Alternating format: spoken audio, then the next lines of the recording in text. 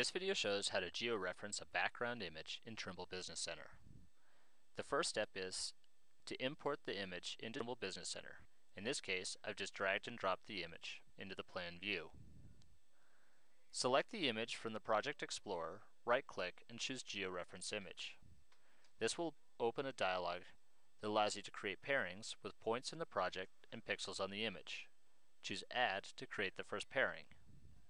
Choose a well-known spot in the image, and then the corresponding point in the survey. In this case, we'll add two pairings. Again, a well-known point in the image and the corresponding point in the survey.